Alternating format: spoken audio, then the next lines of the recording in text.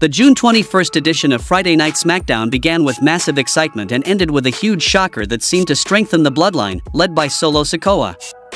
After Cody Rhodes saved CM Punk from a possible attack by the Bloodline earlier in the night, a match between Rhodes and Sikoa was scheduled later on in the night, and both men agreed to battle it out one-on-one -on -one without any backup. However, just halfway through their match, Tama Tonga and Tonga Loa came down to attack Cody, only to be neutralized by his own allies and Bloodline sworn enemy, Kevin Owens. Right after, Solo Sikoa found himself cornered by the three men, begging for dear life, however, his helplessness quickly turned into a nasty smirk. At that moment, another member of the Anoa'i family, Jacob Fatu, who had been rumored to appear in WWE for weeks, finally made his shocking debut.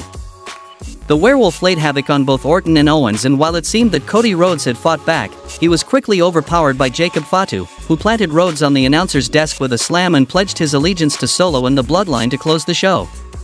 What are your thoughts on Jacob Fatu's shocking debut in WWE on SmackDown? Sound off in the comments.